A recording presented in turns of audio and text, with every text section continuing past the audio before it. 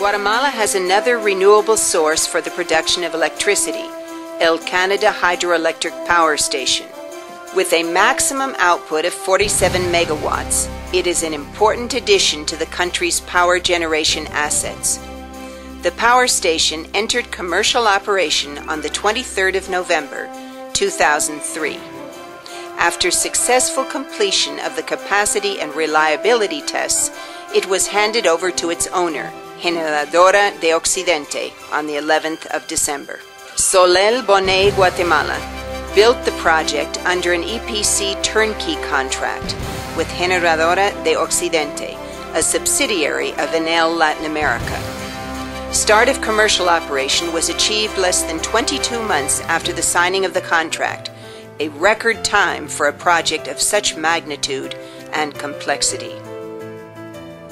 After detailed and complex negotiations, the EPC turnkey contract was signed on January 27, 2001.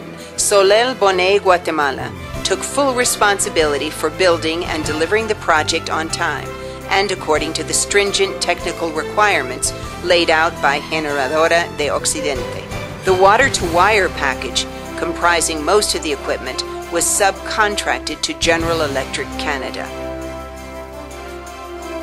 The main components of the project are access roads, the dam and the intake works, the desander, the tunnel intake, the conveyance tunnel, the tunnel outlet, the reservoir, the penstock intake, the penstock, the powerhouse, the substation, the transmission line, and the extension to the Santa Maria substation.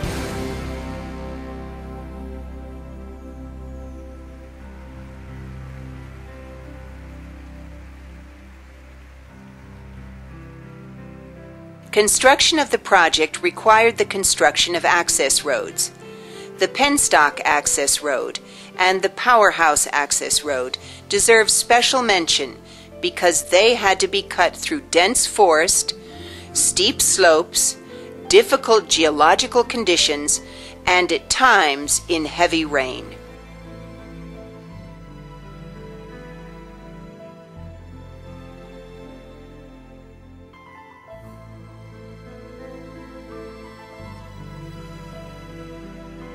The dam is located in the Samala River, immediately downstream of the old Santa Maria powerhouse. Throughout its construction, it was necessary to divert the river to gain dry access to the foundations. Due to severe space restrictions, a compact layout had to be adopted to accommodate all the structures. This, in turn, called for a complex construction sequence and meticulous planning.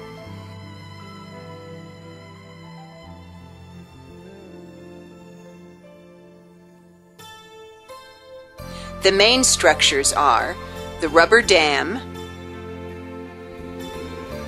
the bypass, the intake with all its equipment, the tunnel intake, the desander, and the control building. The rubber dam, through its own computer system, controls the upstream water level. The trash rack and its trash rack cleaner remove the debris carried by the water, while the desander removes the finer particles, which could cause accelerated wear of the turbines.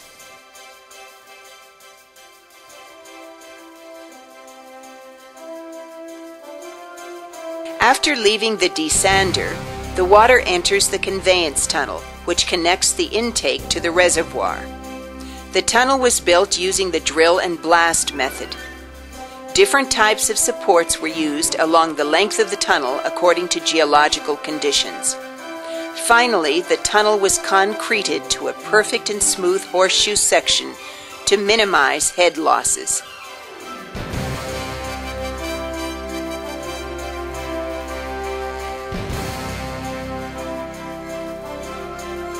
With a live capacity of 184,000 cubic meters, it provides daily storage, which enables the power station, even in the dry season, to generate at its maximum output during the evening peak when electricity is more valuable. Construction of the reservoir required substantial excavation work as well as the construction of an embankment. The earthworks had to be finished to a very demanding standard to receive the man-made impermeable geomembrane. This membrane is made of several components which had to be laid and welded together using special techniques. The water leaves the reservoir through the penstock intake, which is equipped with a fixed wheel gate. Control, data acquisition, and communications equipment are located inside the reservoir control building, located near the penstock intake.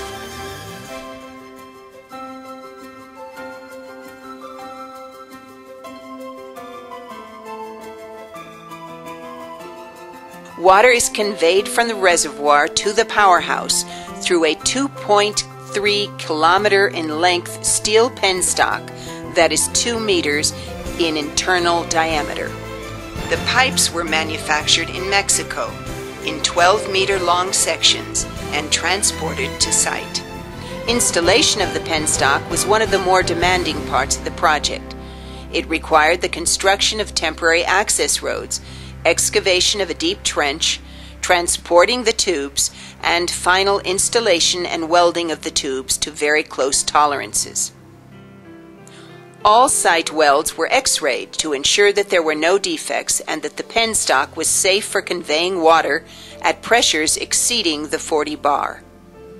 Anchor blocks with special steel anchors were built at the most important bends.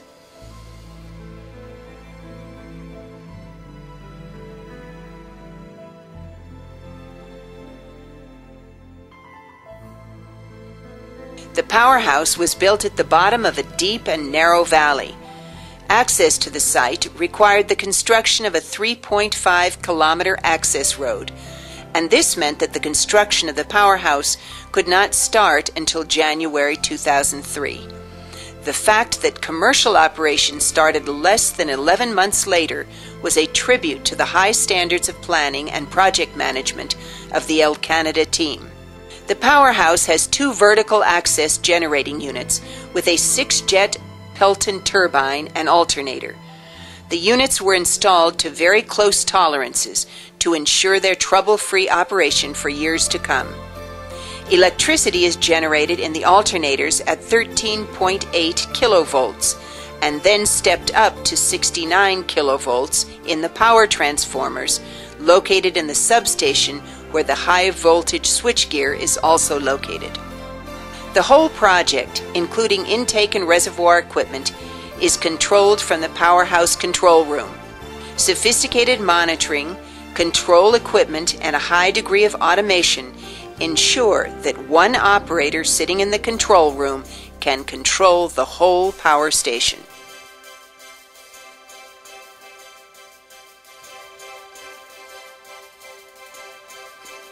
Electricity is transmitted from the powerhouse to the Santa Maria substation through a 69 kilovolt transmission line 4.2 kilometers long.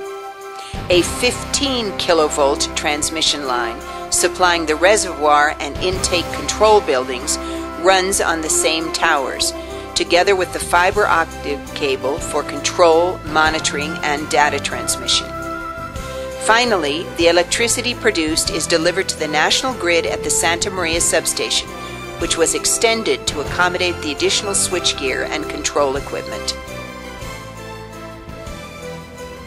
The El Canada Hydroelectric Power Station is an engineering, procurement, and construction project by Solel Boneh Guatemala, an extension of the Solel Boneh International Group.